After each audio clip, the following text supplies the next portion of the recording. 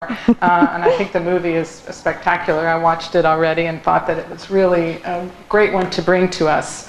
Um, it's, I know we're a small crowd, but we're a pretty mighty crowd. I was thinking of all the counties that are represented here tonight. We've got Marion, Washington, Nelson, Bullitt, Jefferson, Yeah. and Fayette. So a number of counties represented in this room tonight. It seems like maybe everybody's from a different county just to look around the room. So, um, and I think you all know our mission. Most of you are, are close allies. Uh, we're a regional nonprofit, as most of you know. Um, we have a mission of promoting sustainable thinking and sustainable development to create a healthy, safe, and productive future for rural, for rural communities. Our focus is on rural. And as far as we know, there's not too many organizations in the country that really focus on rural.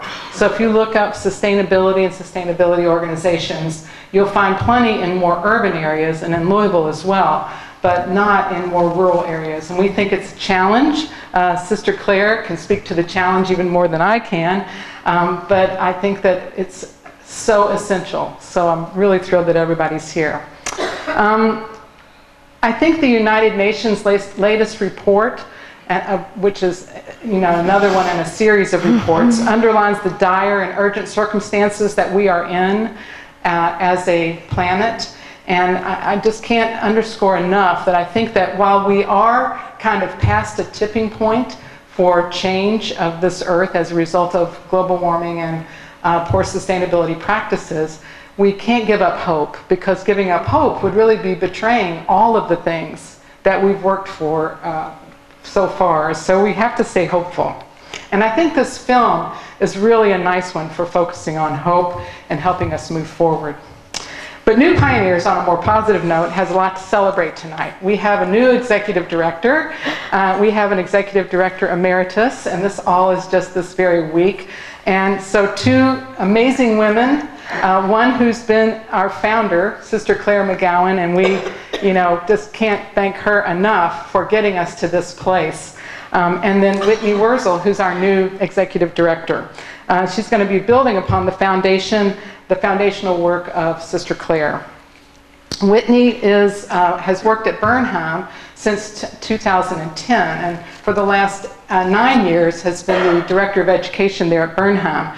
Before that, she was um, spreading her wings and being free as a bird as park ranger in national parks uh, and state parks around about and um, came back to Kentucky because of her belief in the importance of the rural lifestyle here and in sustaining the rural lifestyle here. So this is a natural progression for her. She graduated, she's a native of Bullock County, and she graduated from University of Charlotte, University of, I'm sorry, Queen's University in Charlotte. Did I say that right? Yeah, you got it. Uh, with a degree in environmental writing. So um, that seems like a pretty uh, important degree and relevant degree to have for this particular job. So we welcome Whitney. We're so thrilled that you're here. Um, and we certainly thank Sister Claire, who's going to be with us um, for the rest of her life. Um, no. And hopefully the rest of all of our lives. Um, but she's going to be with us and actually in a position with New Pioneers as Director Emeritus until uh, April, you know, April or May. So um, we'll be holding her feet more to the fire than maybe she would want us to. So um, it's, it's, such a great duo to have Whitney and Claire together. So I want to turn this over to uh, Whitney. We, tonight we're going to have the film. We're going to have a panel. We're lucky enough to have some people on the panel who are citizens who have agreed to, to just be on the panel and respond with some of their thoughts. Uh, and then we'll have some, some audience participation. So I'm going to turn this over to Whitney. All right. Thank you. Thank you, Anne. I appreciate that. And um, I just want to thank all of you for being here this evening. And if you were able to make it out a little earlier for the reception, even more gratitude and appreciation. Um, I This is my fourth day on the job, and I have felt nothing but welcome and encouraged. And um, I am just thrilled to be here.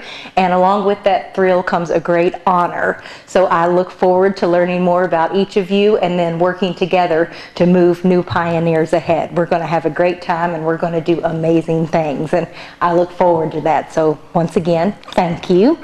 Now let me tell you a little more about this film that uh, one of my duties first week on the job was to watch a movie. I thought, well, that was a pretty good deal. Um, but it was with the understanding that that was part of the research to be able to introduce what you're about to take a look at. Um, so as you know, the film Current Revolution, it is an award-winning documentary um, from director Roger Sorkin and the American Resilience Project. Um, prior to this film, I was not familiar with that organization, so I did a little research and discovered that the American Resilience Project is dedicated solely to telling stories of America's greatest environmental and national security challenges. So sort of the merging point of national security and um, environmental security.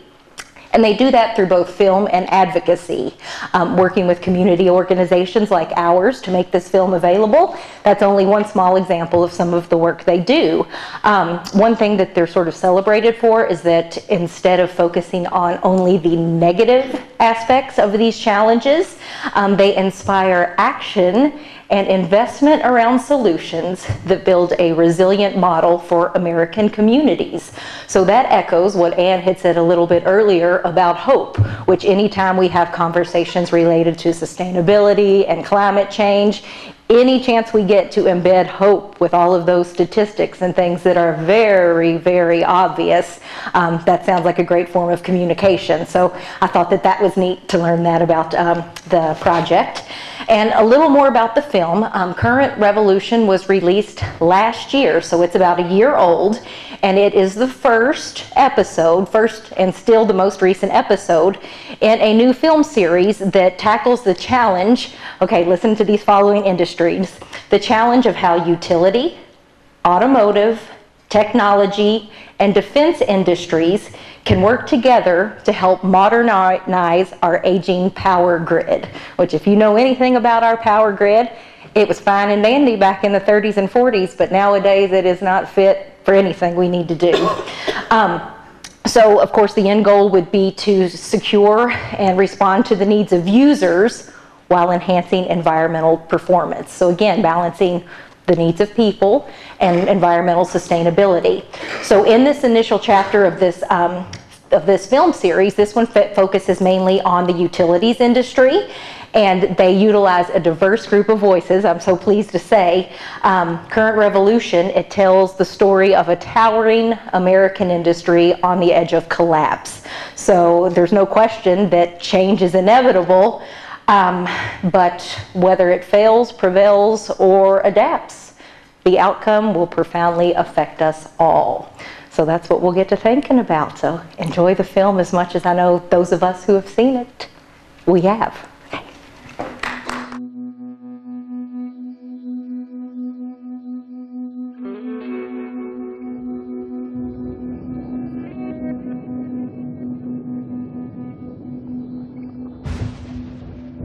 The first thing that I would have to say is the fact that I am a believer. I believe that God created this world and put that sun out there, in my opinion, for us to take advantage of.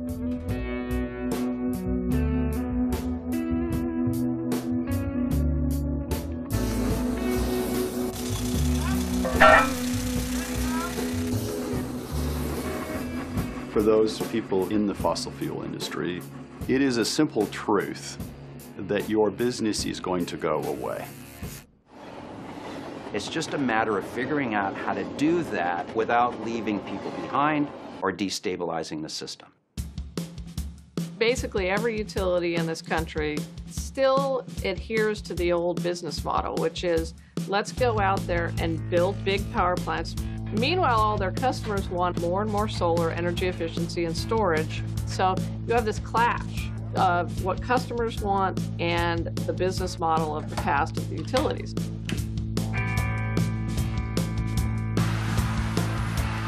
To an average consumer, what they want, they want the light to come on when they flip the switch, and they want to be able to pay the bill. You don't really have the appreciation of electricity until you don't have it.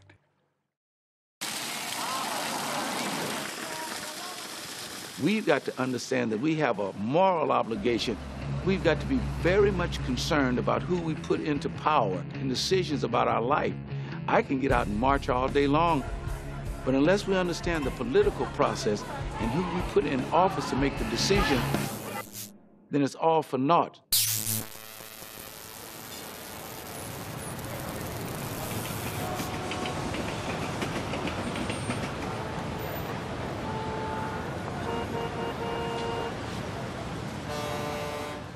The electric power system has been one of the most successful and reliable technological systems that we've developed in the modern age. Electricity is almost like air. People just assume it's always going to be there.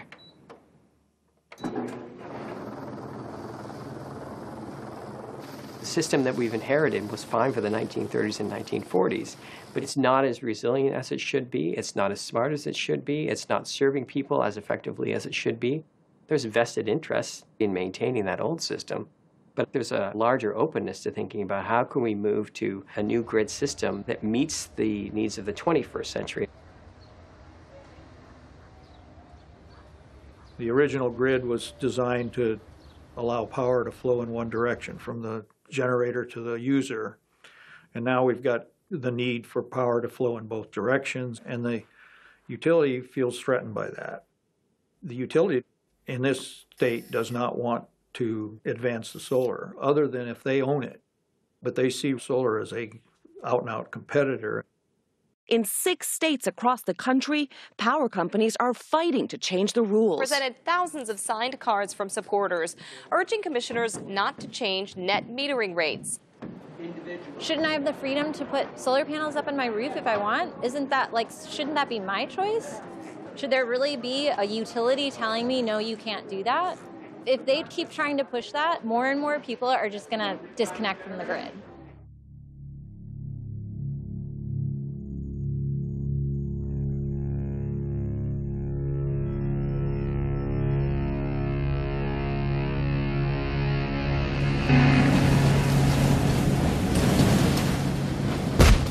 Disasters that we're seeing, like the hurricane devastation in the Caribbean, Puerto Rico, and other islands, provide us an opportunity to um, completely rethink our energy infrastructure.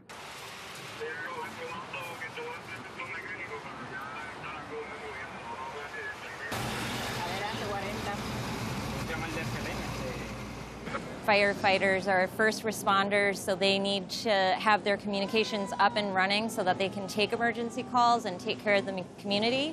And if their generators are going down and breaking and the grid is not on, you know, that poses a real danger to the community because they can't even call the help that they need. So we just put up a 6.6 kilowatt system here, and it's also connected to some battery storage. So the wonderful thing about that is we are able to make sure this fire station has power 24 hours a day and demonstrate to the leaders in the area and to the community in general that this technology works. You know, that's really going to save lives at the end of the day.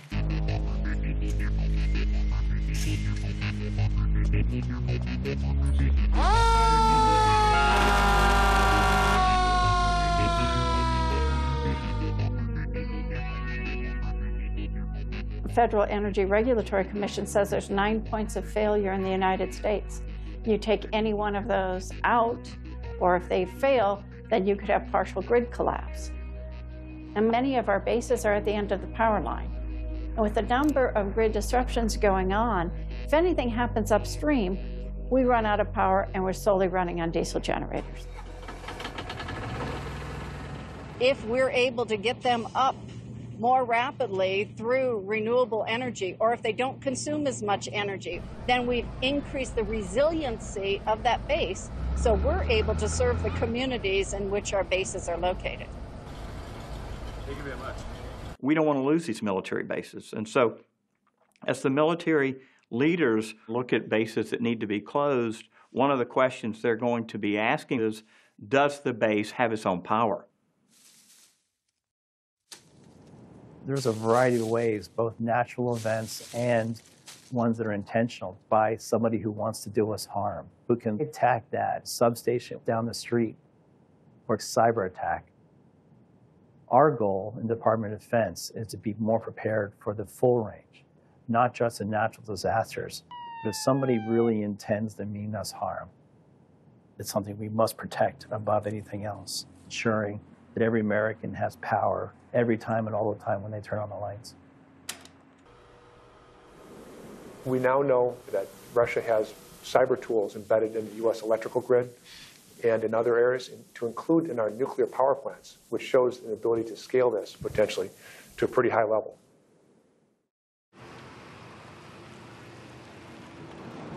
What we're doing today is we're demonstrating uh, this trailer that we've developed. It's for a mobile microgrid training platform. So that way, instead of having to worry about buying all these components yourself or having to know-how to set it up, we've developed the training manuals, the hardware, and put it all together.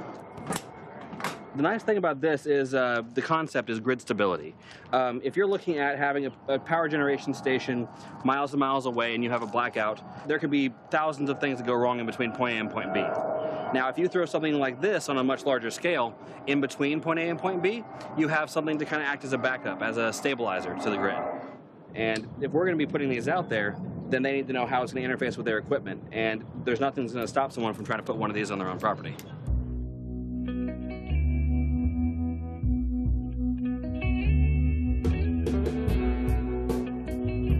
Renewables can give people the chance of not being tethered to a government-created monopoly.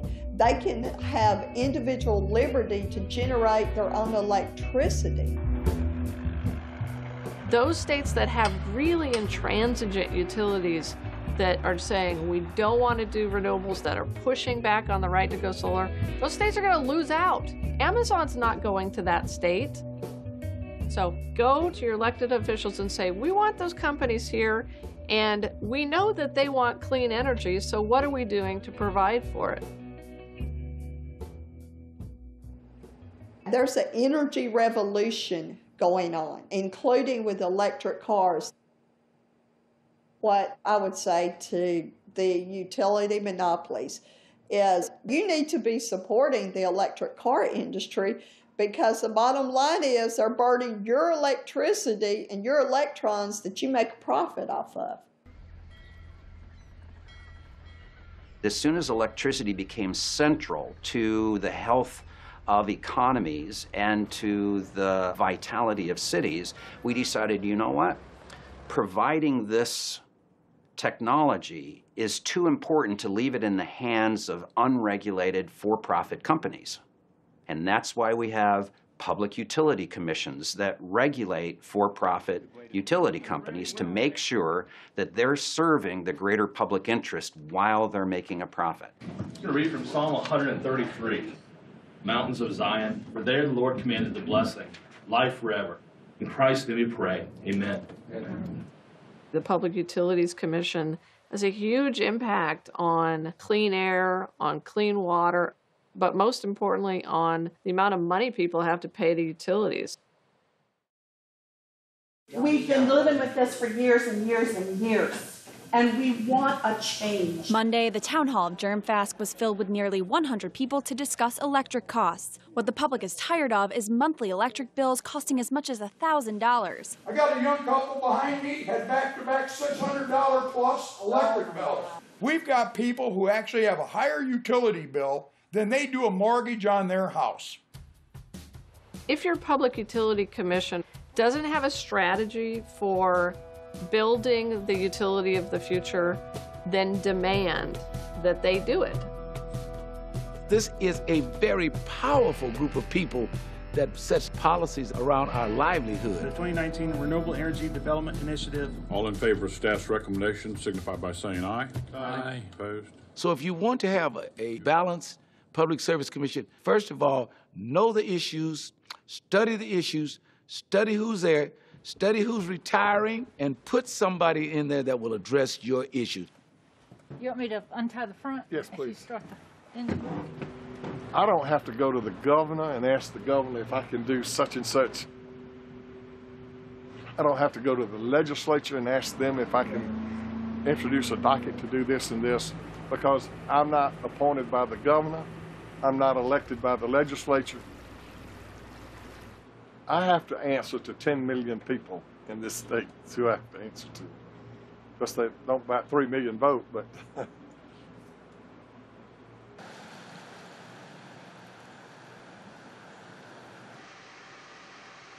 I think when it comes to power companies, I understand the position where they are. Their job, like everything else in our system, uh, is to return a dollar for their investors. Now, when the companies can begin to say, how do we make a profit as well as protect the environment, then I think we're on the right path.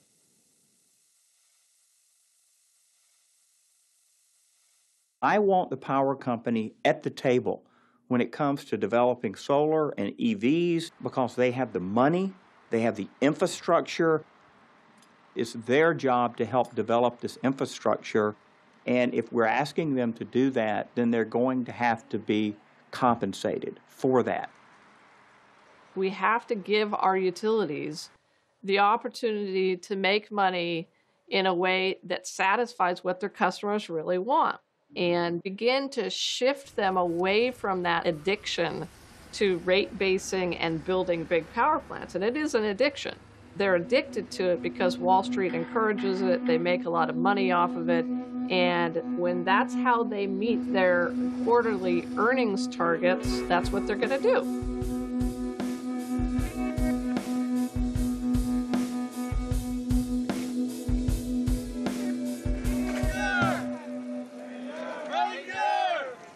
Georgia is an interesting case history. In Georgia, the Army has three major military bases. We were looking for locations to put renewable energy. At the same time, Georgia Power was decommissioning 15 of their coal fired power plants. And so they were looking for their next generation power source. So once the utilities understood that there was an opportunity for them, they really stepped up. Pentagon said, Commissioner, we want to make Georgia the model state for the Army in renewable energy. They wanted 30 megawatts of solar power at Fort Benning, 30 megawatts at Fort Gordon, 30 megawatts at Fort Stewart. Then what happened? The Navy comes forth and said, We want 30 megawatts of solar power for the submarine base. Then the Marines at the Logistics Center in Albany, Georgia, said they want 31 megawatts of solar power there. Now we are today working with Robins Air Force Base on 139 megawatts.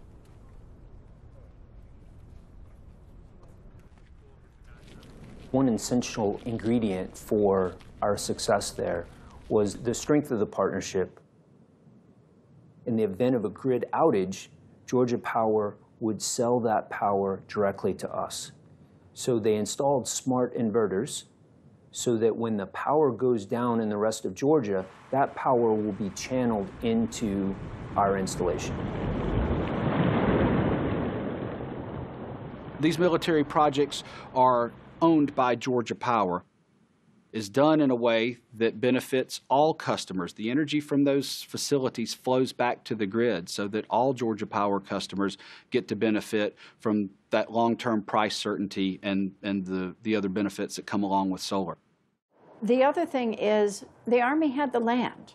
So they didn't have to do eminent domain and disrupt the local community. We have land that's buffered between Army activities and the community why not put it to productive use?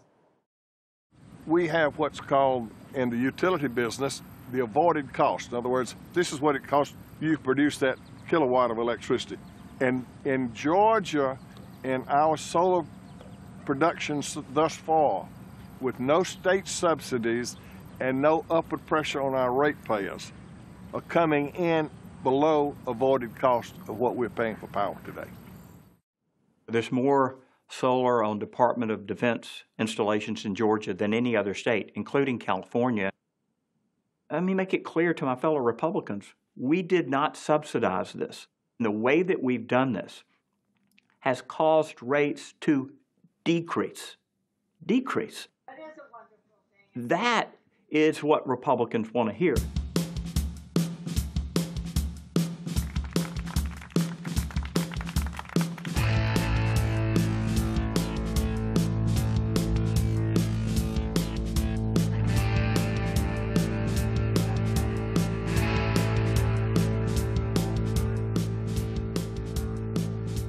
Future of the grid will be one in which we see fewer and fewer large power plants and more and more houses that are providing their own energy that also have electric vehicles plugged into the garage. Well, that takes the utility completely out of the loop. So either you transform and adapt or get out of the way. If a utility partners with automotive, then all of a sudden you have mobile energy storage, and if you have vehicle to grid communications, now the utility has a new market. Electric vehicles are, frankly, one of the only areas of load growth right now for utilities across this country. In other words, that's one of the only ways that their system is actually experiencing increased usage. No question about it, the electric industry is changing, and Georgia Power is no different. We're experiencing a lot of the same trends that are happening nationwide. Our loads are not growing as much as they used to. Our revenues are flatter, and we're modernizing our business to try to reduce costs, become as efficient as we can. We also have a focus on off-road electric transportation, which includes electric cranes at the Ports Authority. We've got the tugs that move luggage down at the airport, along with forklifts. And so we've got a heavy emphasis across the board of electrifying the transportation infrastructure.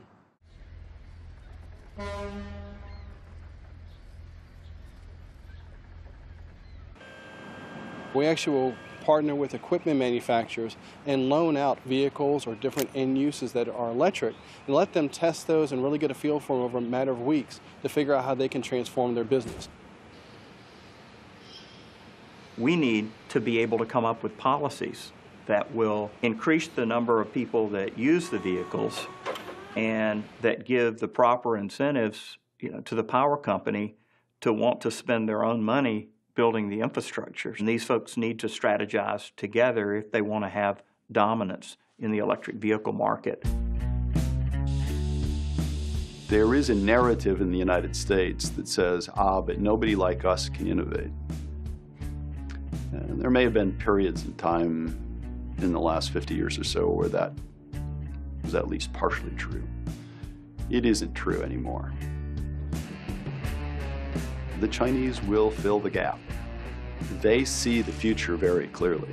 And they're seriously looking at being the world's leaders in these areas. Arguably, they already are in wind and solar. So we have to compete, or we will get overrun, and we're running short on time.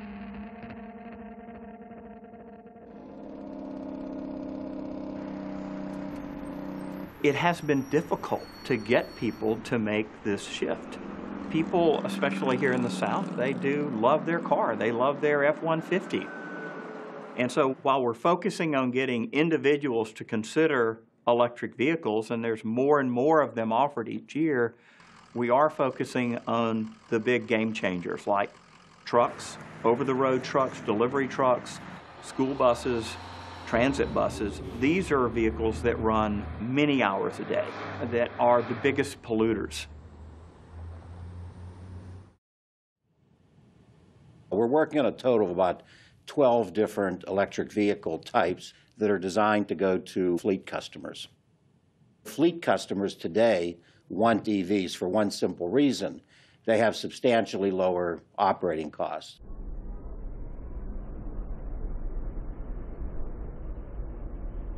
We're at an inflection point with the electric vehicles. The electric utilities clearly have to be part of that transformation, and their key role is to put in the electric charging infrastructure and to make sure that they have capacity on hand to handle that. How is my favorite commissioner doing? Have you ever been here before? I have not. You're going to be impressed. Good to see you, sir. Welcome back to Green for You. Looks like the plan's coming together, isn't it? It's all coming together. We have our first product in the marketplace. Last year, there were 29 million vehicles made in China. But importantly, 40% of those vehicles were made by companies that didn't exist 20 years ago. And the carbon fiber process too is. Carbon fiber, that's another way of lightweighting. All of the vehicles, starting with our light-duty SUV up to these heavy-duty SUVs, basically use the same chassis. I don't have to worry about oil changes, no spark plugs, no timing belts to break, no transmission to go out. All of those things that break on regular gasoline cars are not in this car. It's not just the fact that you're getting rid of having to buy fuel, you also don't have to do any maintenance to it. And you cannot beat an electric car off the line. You, we have 100% torque from zero. Now, for the first time in history, renewable energy is the cheap option. And as soon as solar plus storage and wind plus storage is the same cost or cheaper than every other source like gas and coal and nuclear, then why would we choose anything else?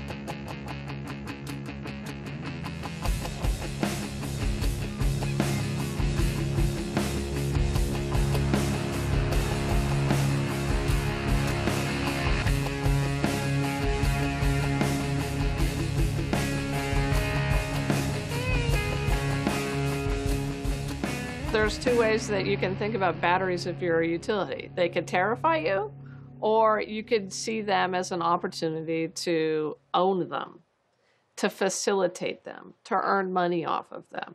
There's nothing really stopping a utility from being the one to provide that battery storage to its customers.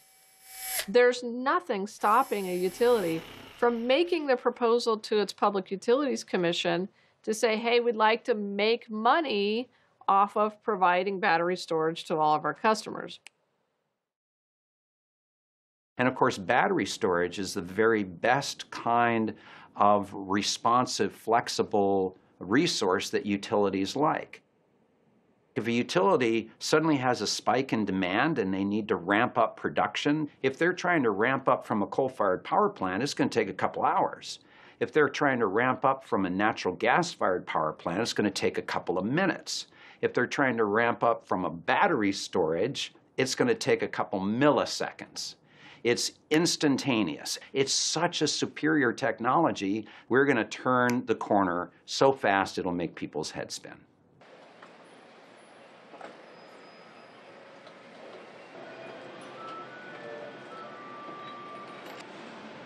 If the utility industry and the automotive industry don't work well together, what you're going to see is the emergence of third parties. You're already seeing Google enter the automotive industry. And could Google enter the utility industry as well? I mean, where there is a void, someone's going to step in to fill the void.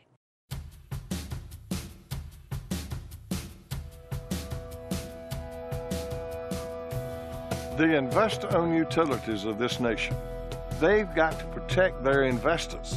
They've got to have the visionaries on their boards, on their staff, to understand what impact the electric vehicle is going to have, what impact solar energy is going to have, wind energy is going to have, what impact is continuation of, of fracking going to have.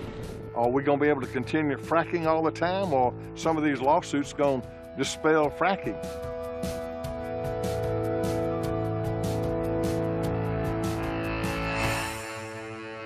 Question is, if you're an oil man, for example, what is your future? Fossil fuels have to come out of the energy mix. How are you going to respond? Do we continue to merge around a smaller and smaller industry and eventually the last person in the room turns out the light? Or do we transform ourselves into something else? Do we transform ourselves into renewable energy companies? Do we transform ourselves into carbon management companies? If carbon dioxide has to come out of the atmosphere, oil companies could be good candidates for the ones that need to do it.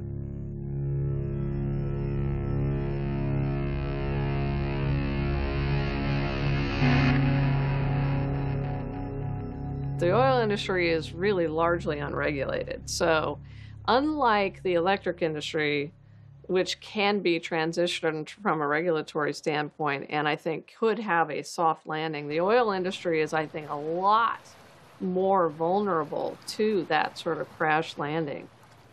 And so it's going to be up to the shareholders of these oil companies to say, what are we going to do to pivot?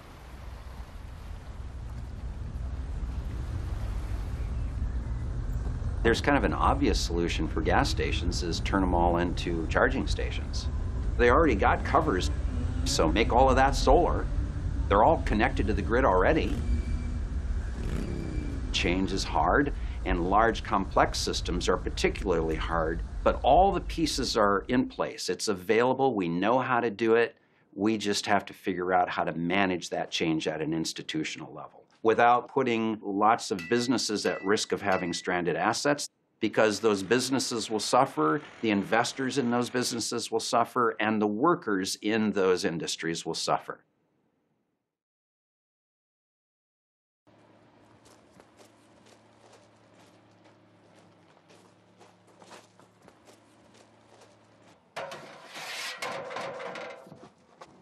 I have been in the solar consulting industry since 2008. We do installations now in a day to two days tops. My sales are all from referrals. I do not knock on doors. I don't do any of those things. All referrals.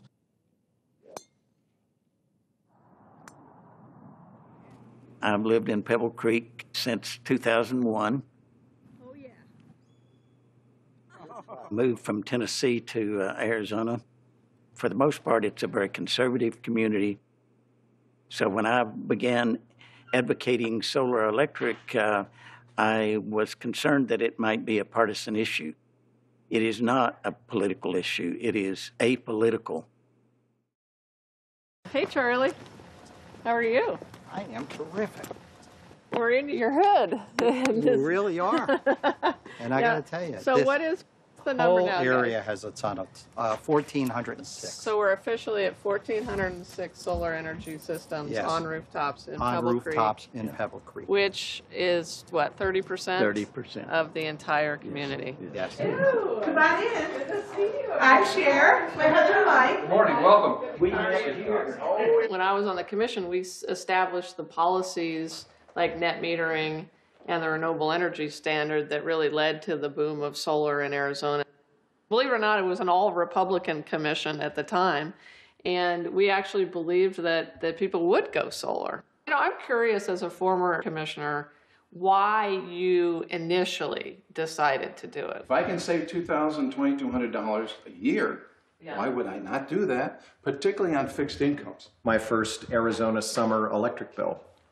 I'd never seen a $400 monthly electric bill, and I was scandalized by that amount. It's free, it's It's a sun, win, you win, know. win. you- There are no Let's, downsides. let's look in using that. If we can scatter the creation of electricity throughout a neighborhood, we don't have to build a giant plant right out here in the desert that burns coal and fouls the air of the Grand Canyon and requires transmission lines to get the power back into town. I think of the utility companies as the bully.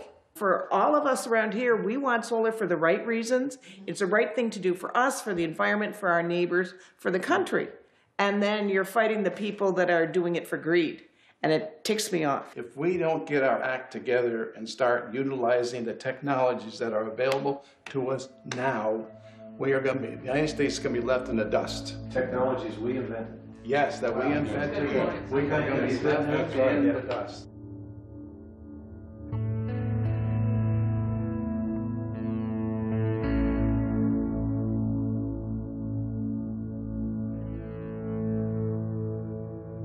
There's virtually no one that is opposed to solar.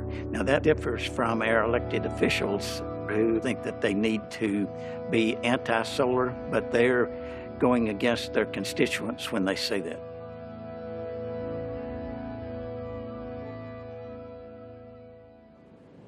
Can you give us an update about the tax credit or any bills that impact electric vehicles? all new build residential has to be EV ready.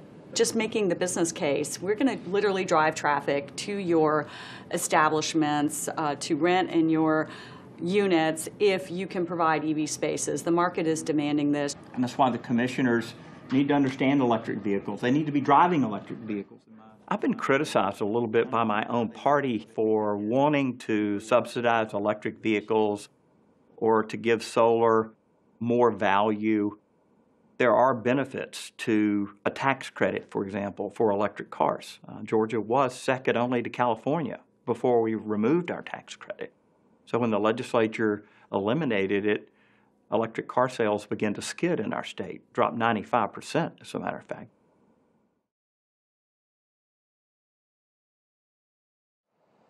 Solar is not something that only tree huggers like. What is more conservative than generating your own electricity and not be dependent on someone else to do it for you? Just because they're conservative doesn't mean they can't embrace electric cars. Or like not having to be beholden to whatever the utility decides they want to charge them.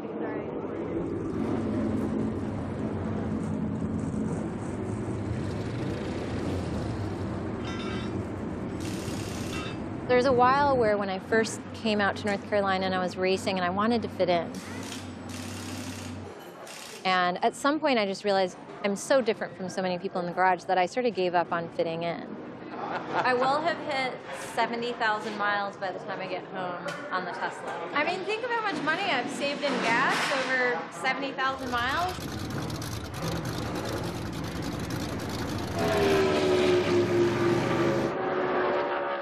Without the race car, the demographic of people that I would be able to reach would be so much smaller if I was just still a biology scientist.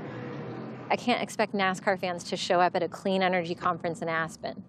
You know, it's not going to happen. They're not going to come to the Environmental Film Festival. It's sort of like I'm on these two sides and I'm balancing these two worlds, and I don't fit in completely on either side, but I get to see both of those audiences talking to me as one of them. And there is so much more that we share than what divides us.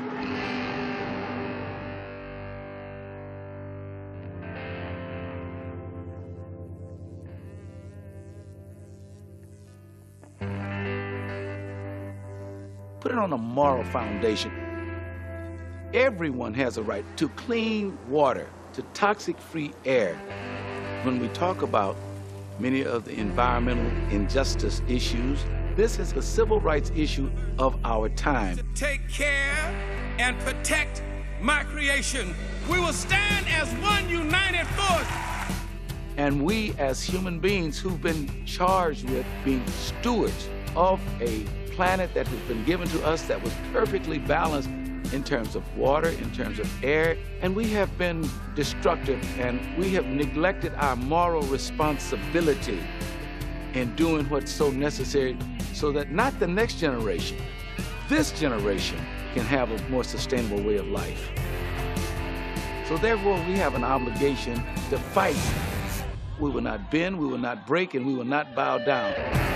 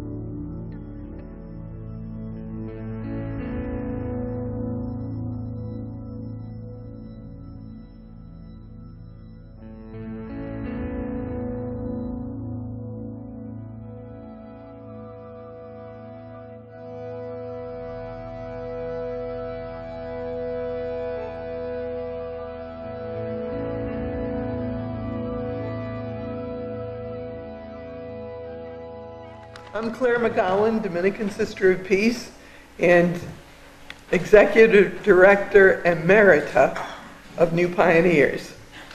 I'm learning how to say that word.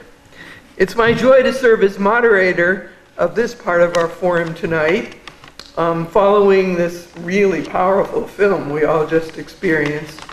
We have an excellent panel with us tonight to begin to unpack some of the meaning of this film, especially as it might apply to us in our own rural area here. So we'll spend the next 15 minutes with the panel, each of them with five minutes, and then we'll open up to a broader conversation with our audience. Um, we have every intention of ending by 8.30 because we know that for many of you, tomorrow is a work day. Our first panelist tonight is the executive director from Frankfort, the executive director of Kentucky Conservation Committee, one of Kentucky's oldest environmental advocacy organizations, founded in 1975.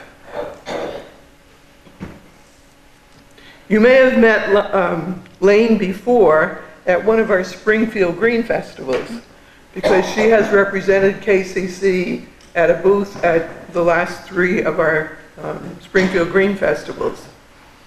KCC works without charge to represent the citizens and the conservation organizations, um, the, the environmental issues, to the Kentucky State Legislature in particular. So they represent us um, around environmental concerns.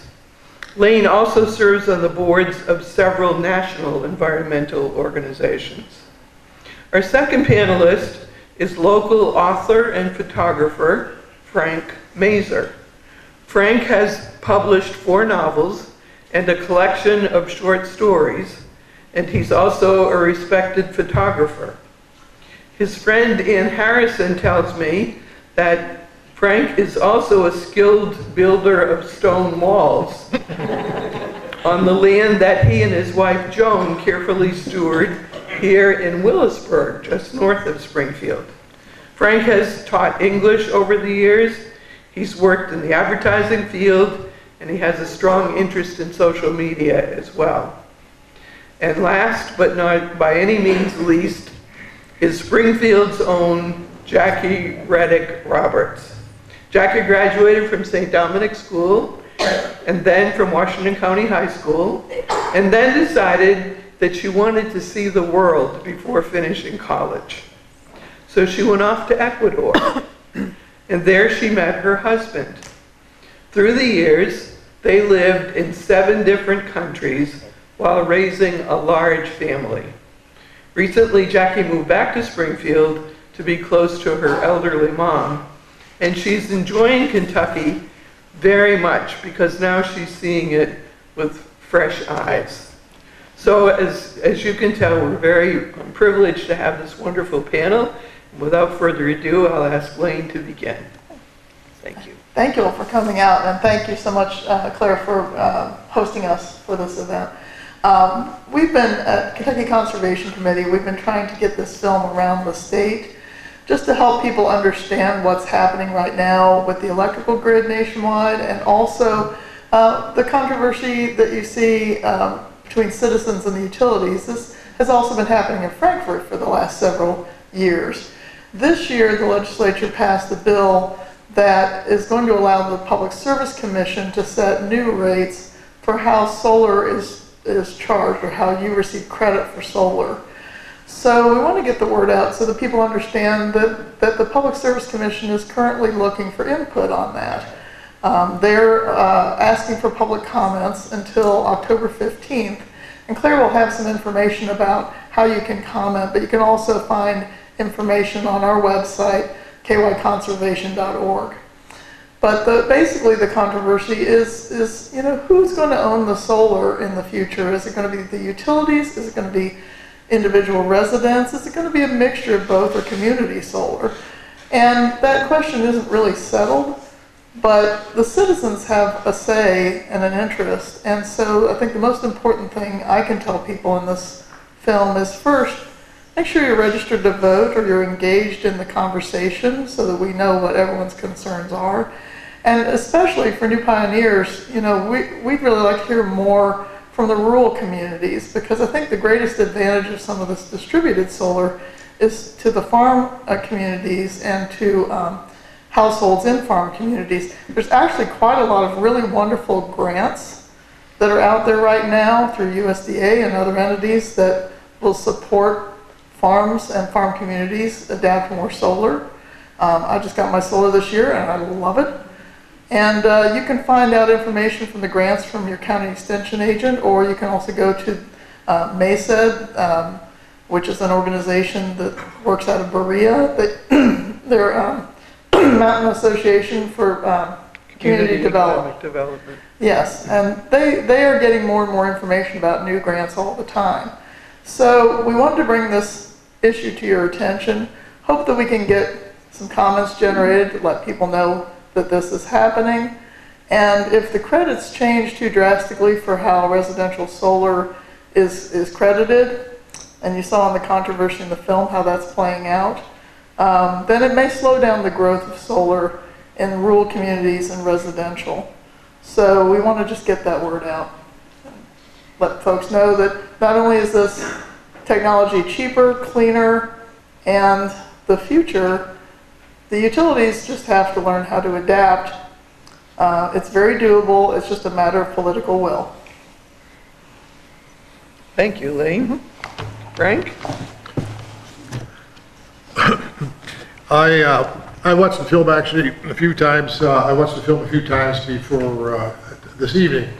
And uh, along with some of the things that were said, uh, Claire, that this is a small community. What is our part in, in, in even trying to push uh, solar a little further? Uh, that's where I was kind of come from uh, in thinking about all this. and one of this is, I think, is self-sufficiency. Whether we talk to this to ourselves, to neighbors, or to friends, it's an American trait that we like to be self-sufficient. And as was pointed out several times in the film, uh, people like the idea of generating their own power, of being responsible for it, and not being beholden to a large power company to get it.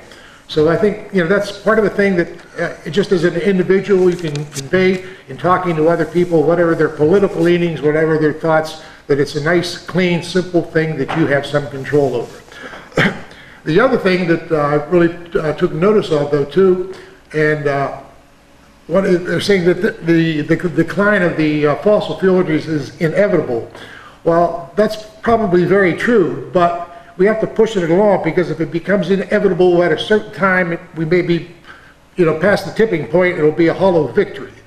And so again, it's trying to push things a little further. Now, one of the, one of the items in the story, in the film that I thought was, uh, really has import for all of us is the idea of the electric vehicle. How many of you, any of you own an electric vehicle? Okay. How many of you have ridden or driven an electrical vehicle? Okay, a few of you. I think a lot of people haven't, and I, even the majority right here, I have never been in an electric vehicle that I recall. And I think that's something that uh, could be pushed in, even in small areas like this.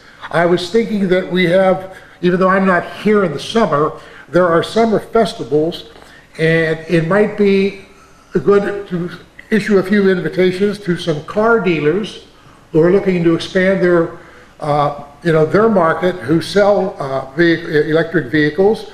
Invite them here, I don't know, for a test drive, you know, to give test drives to people, uh, to explain everything to them, uh, you know, to give them a coupon if they want to buy, but just to get more people interested and get them inside a vehicle, let them, let them, you know, feel what it like, it is like to ride one, to drive one, to sound, you know, what it sounds like in one, that they're, gotta be a little more careful crossing the street even in front of one.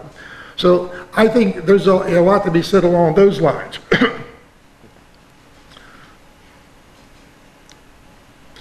The other thing I was going to make uh, a point about too is that the, uh, is making this very personal, personal of, of wanting solar and wanting to get away from fossil fuels. And by that I mean, and this, this may seem kind of uh, you know, petty in a sense or small, but I kind of mean it.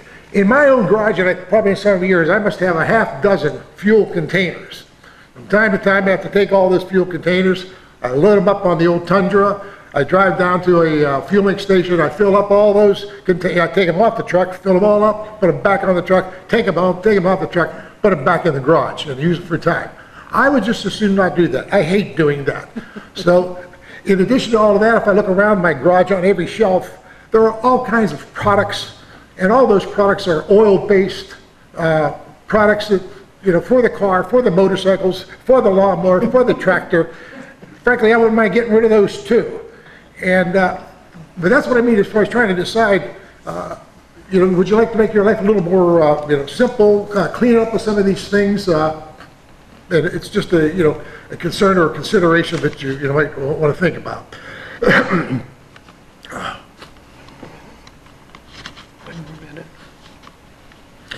And then the, uh, one other thing that I wanted to make note of too was in the, it was in the story, it already here, it's been repeated, is in voting for, uh, or getting, you know, voting or making known who you would like in your legislature, who you would like on uh, public uh, utility commissions, is to do your homework, to study the issues, but then study the people, to find those who are in line with your view on things.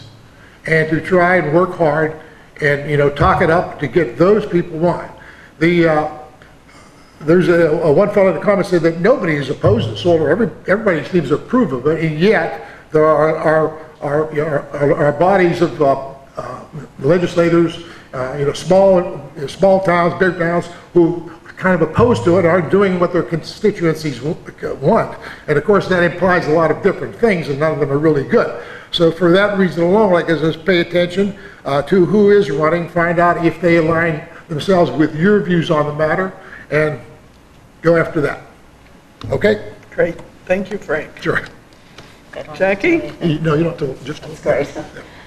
Um, I, I I never thought I'd move back to Kentucky. I never did. I would visit once in a while to visit my parents. But uh, moving back here really did something really beautiful to my soul. And I think that people here do not realize what they have. There, it's, there's something beautiful about this place, not just the way Central Kentucky looks, but the way the people are, and the, the kindness, and the gentleness, and the, the willingness to help no matter what. And I just, um, I think in coming back, you know, there are a lot of things that I, I guess I fear are going to be lost if we, we are not willing to fight for those things for our children and for the next generations. And that is really got to do with the land and uh, the environment.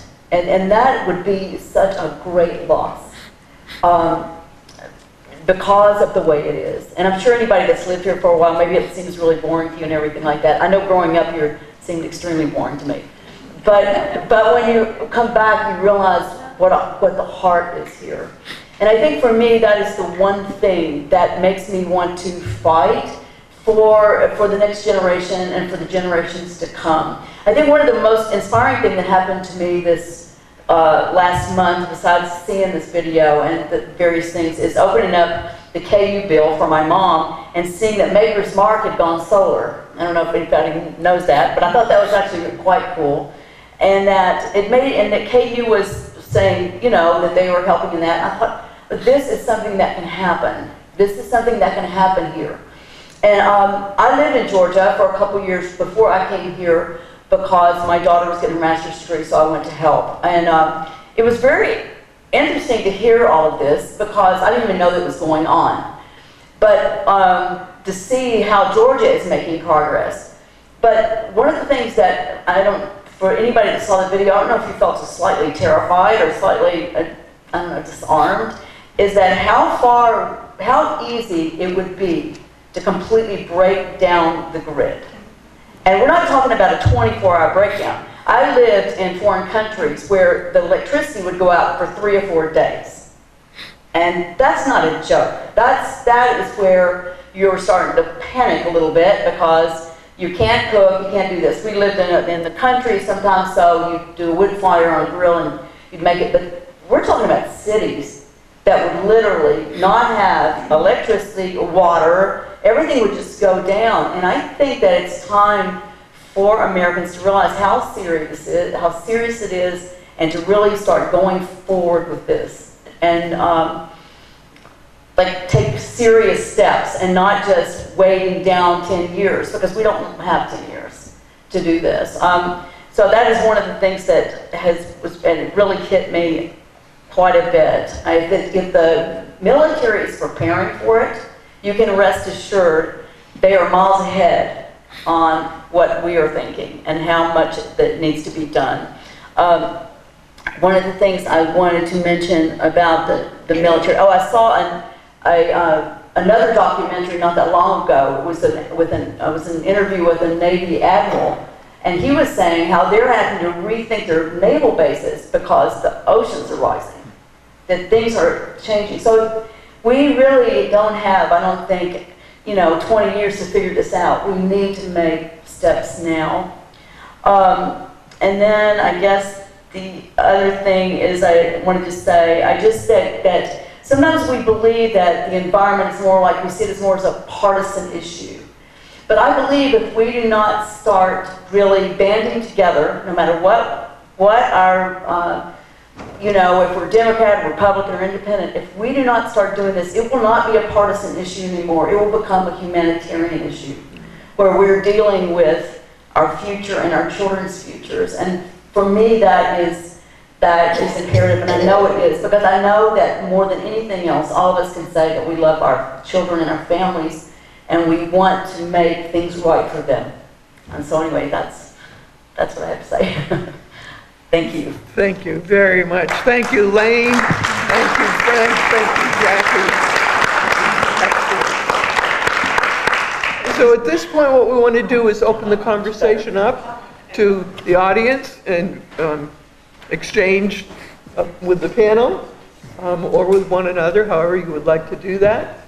Uh, Yes, sir. uh, uh, I think it's odd is that uh, the military is way ahead on going sustainable and, and the legislatures normally seem to give a damn. I guess is that a good word? They really don't. And Vietnam, it's like, okay, everybody, be patriotic, be patriotic. And This is a pretty patriotic issue, it seems like, and they really don't care. Uh, They, you know, they'll not acknowledge, but they're not in a hurry to, to take action like the military is. I think if I could comment on that, I think what you're seeing there is more the influence of the existing fossil fuel industry because it's a pretty major shift. Um, and you know, uh, when you're an industry that is already very rich and powerful, you can hire a lot of lobbyists. You can have quite a lot of influence on your legislature. Um, when we were working on the solar bill for the last several years, we, we've been working on different solar bills for the last five years. Um, this past year, we had three nonprofit lobbyists and one uh, contract lobbyist uh, on the solar side up against about 25 to 30 paid utility and oil and gas lobbyists. So that influence trickles down to your legislator and can make a real difference. Anyone else? Ian? You said it, excuse me, trickled down and the lobbies had that big influence. What comes to my mind is when the pipeline was fought by the Dominican sisters. And they won. They got it off the grid, at least for now. But every small step if we band together and make a decision. That's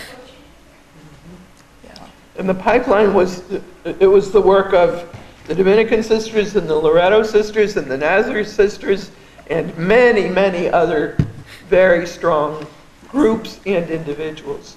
Everybody worked together on that over the course of a year and a half. Um, So it takes a lot of time and a lot of energy, but it is possible to win. And I can't say enough about the impression of having people go up to Frankfort, because legislators do listen when they see five people come in on the same day on the same matter, that does get their attention, or they get 10 phone calls in the same day, they know something's up. Um, But, you know, people have busy lives, and they, it's hard for them to go up to Frankfort, and that's where paid lobbyists have an advantage. So uh, certainly, even, even ourselves as a nonprofit, there's no way physically we could have been around as much as the contract lobbyists. And it's a, it's a very well-established industry, the, the oil industry. Um, Right now, there's basically a, a dynamic where coal is going away and something's going to take its place. And it could be solar, and it could be gas. And gas actually has an advantage right now because it, it so resembles the way the oil industry worked. And so it's, it's an easier retrofit for the utilities um, to make that kind of transition, or the, or the coal industry. Um, So, so we've got a little bit of a challenge. The technology works, utilities understand that because they're going solar too. Um, But right now, they are working in the traditional model where they own it all, and it's really not necessary anymore. If you, if you believe in market forces, I go, I go back again to this electric vehicle, uh, that if, uh, you know, if the population of this country really doubles or triples with an interest in that electric vehicle, that's going to be force, I think, you know, some action on the part of these utility companies, because they want to, want to get into the action too. But the one, uh, there was a one comment through the movie that said, uh, you know, if they're not doing what you want, demand it. Well, the only demand that's really going to count, I think, is this kind of actual demand that these cars are out there. They need, uh, you know, uh, power, uh, charging stations, and if they're not there, like I said, somebody else is going to fill the gap. And, uh, The utilities love electric cars. They love it. It's the one growth area that they have Yeah. right now. Um, States like Arizona have like about 360 days a year that are sunny. And, but the economy is very different in Arizona than it is here. I mean, how do we, I mean, Well- what, what, what route do we take to convince people in the legislature that that's the way we need to be going? Well, unfortunately, uh, when this debate happened in Frankfort, it was, it was framed as uh, rich solar owners, um, wealthy people, but the prices dropped so significantly. I, I live in Cardinal Valley, which is a lower income neighborhood in Lexington. It's about 30% Hispanic migrant workers. And uh, I have the first solar installation in that neighborhood. And when I had a price this year, I was shocked at how affordable it, it had become, even from just a couple years ago. So I had them installed three months ago. Didn't have a whole lot of panels because I just didn't have the roof space.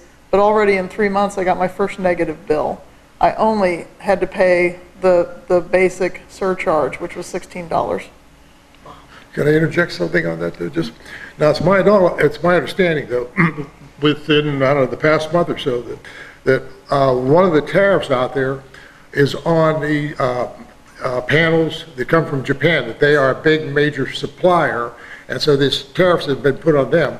And, and as a result, that price is going up, and it's more competitive now with uh, American ones, but there- there's no price drop, in other words. Uh, If you had a choice before of buying a cheap panel, you don't now.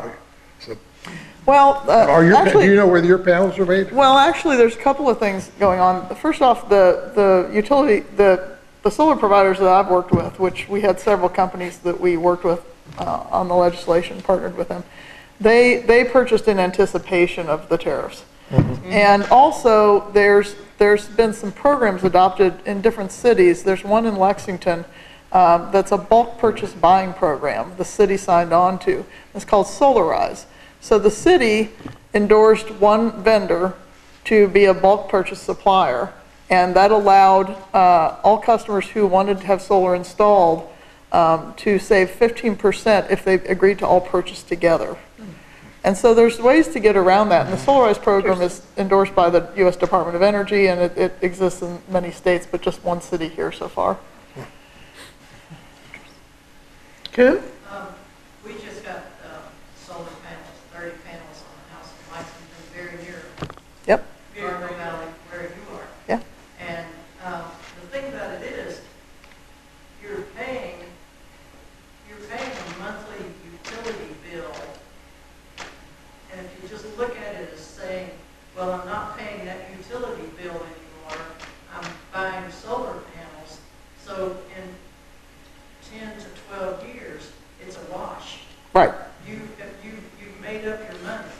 Right. We just look at it as a long-term investment of not, we just got a negative bill or a balanced bill also.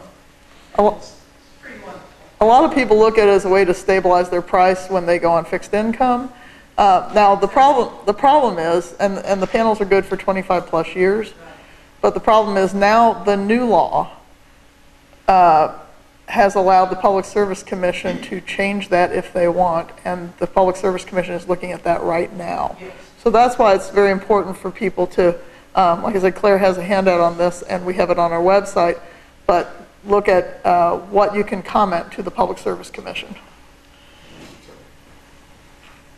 Lana will bring the pan, the um, handout around. But it's a short timeline, it's October 15th is the deadline, so Yeah. if you're interested in trying to get your voice heard on this issue, it has to be done in the next two weeks. And it's for solar customers and non-solar customers. One of the arguments that was used was that, that the lobbyists were able to convince lawmakers that by my, my, my house having solar, it was a burden to non-solar customers, and that's really not the case.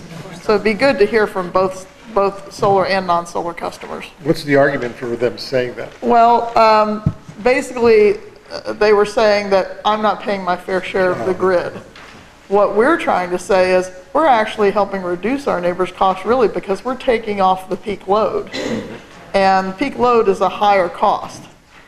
So it could actually save neighbors money if we have enough people doing it. I had a question here, when, just when we're sitting there, and maybe you can ask, if you build a new home, it's out in the middle of nowhere, do you, is there, a- do you have to be connected to the grid? No, you can be on batteries, but the price is still going down on those. Yeah. Yeah.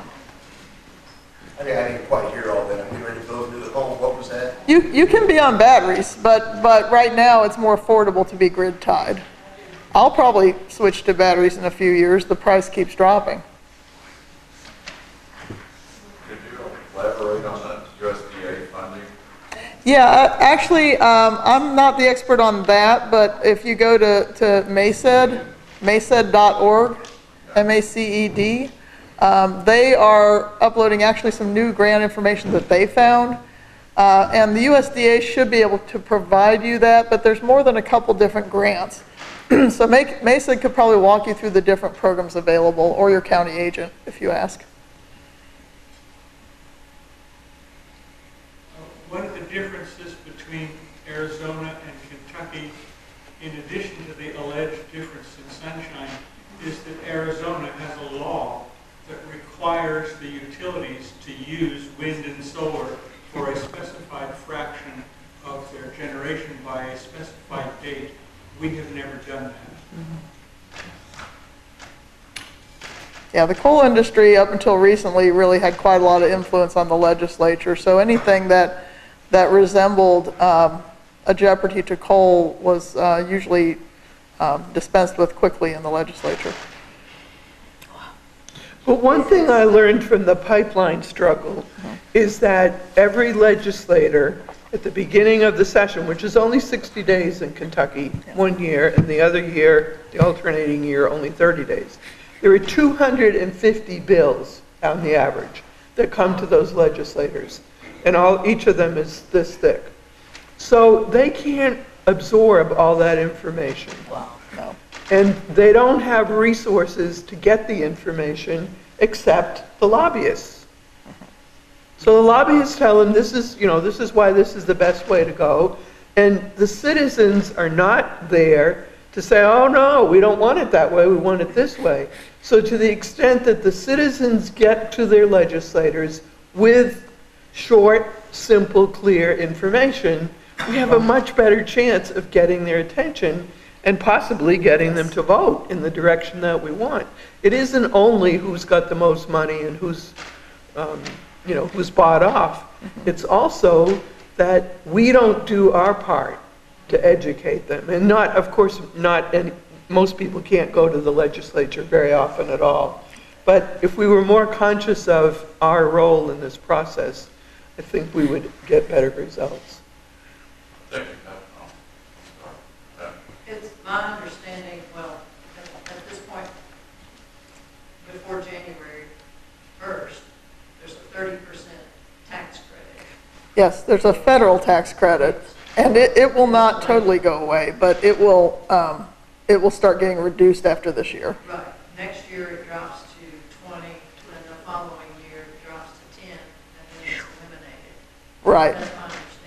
The, the panels I bought, uh, with the solarized discount, and, and it doesn't take care of all my electricity because I just don't have the roof space, uh, cost me about eleven thousand dollars upfront cost, but with the federal discount, it will go down to eight thousand dollars. Are there any, uh, are there any communities, small, mid-sized communities who offer a tax break? For either, uh, you know, panels on a new house or on an old house like yours? I mean, I ask that because so many communities, even, you know, you become a senior citizen and, uh, you can get your bill cut in half in a lot of communities. Uh, why not offer something like that from time to time? It doesn't have to be forever, it could be for Well, that's why I mentioned the solarized program. Uh, Other cities could, could do the same model that Lexington's done, and that, that resolution was a fairly simple resolution by the council, and then they just endorsed a particular company to be the vendor for the panels, and it worked very nicely. But even if the city of Willisburg or the city of Springfield could afford to give a 5% tax abatement or- or a 2%, maybe that would help to build some interest and, and motivation in more people. In this county, I know of four homes that now have solar. Well, if we could get that to 25 over the next few years, that would be significant progress. And the electric car issue, I think, is a really great issue because I think that technology is so emerging that I, I haven't seen a whole lot of lobbyists go against that yet. So I actually have been able to get some information in front of legislators that, um, that weren't up to speed on what was happening with electric cars and road usage tax because electric cars don't use gas. We're currently based on a gas tax. So the legislature has to look at how that has to shift. Um, But there are some great groups, like there's a nonprofit group in Louisville called Evolve that helps to get chargers established in different parts of the state. And they're all volunteer, but they, they recently put a charger out at Wilderness Trace Solar um, in Danville that is all run on solar. And you can charge for free, and it runs off of their sol- solar panels. Um, Parks, state parks and national parks are a great place that a lot of people in the country are having chargers installed, and it becomes a destination point. So, you know, you can look at seeing if you can get uh, what they call an adopt a charger program installed in your, in your community, and that will start bringing electric cars into your community. The Springfield City Council had a presentation recently on, is there any possibility of using solar on City Hall? Whether that will happen or not, who knows, but it's the beginning of a movement. Um, So I was very pleased to hear that that had happened. And I actually feel for the utilities in some of this, because like the film showed, they're in a, they're in a, an old paradigm, an old model that's changed very quickly, like a lot of things have in our lives, you know, how we get our, how we, how we shop, how we get our music, how we watch movies today, all of that has shifted, how things get delivered to our homes. Um, and I, I consider the utilities one of the last big dinosaurs, and since they have a pretty strong hold backed by the local governments on, on how they interact in the state, it, it's a little harder to, to encourage change, but not impossible. And certainly, change has already happened. Half of the coal-fired power plants in this country have already been retired or are retiring. And they're having to replace, in some cases, with nothing because people have been efficient. But in other cases, it's getting replaced with solar, and solar is very viable in Kentucky. Um, Like I said, I've, I've got a negative bill this past month.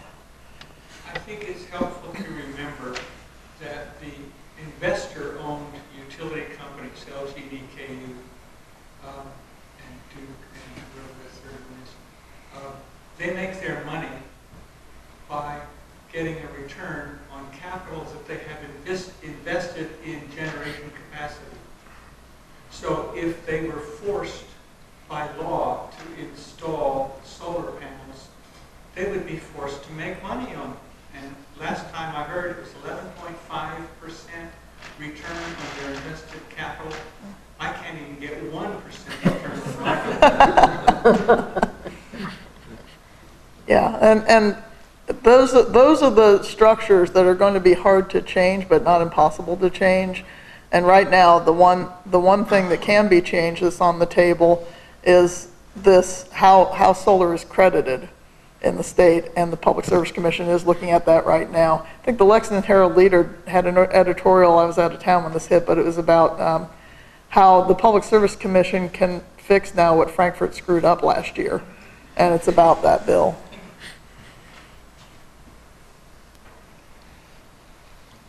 Well, I, I want to really thank you, Lane, Yes. and you, Frank, and you, Jackie. This has been a really enlightening conversation. And as I come to the end of moderating these moving forward forums, actually, this is the 19th one over the years. Wow. I just want to say a huge thank you to each of you, to our TV audience, to Gary and to Lana, and to all of our um, members and supporters over these years. These 15 years with New Pioneers have really been the joy of my lifetime. And I've come to love all of you dearly. So with the exceptional leadership I know we can count on from Whitney, may New Pioneers continue to be bold, creative, and courageous in leading Central Kentuckians to ever greater care for our land, our water, our soil, our um, wildlife, and our people. Mother Earth needs and deserves nothing less from us, and I know we can do it. So thank you. Thank you.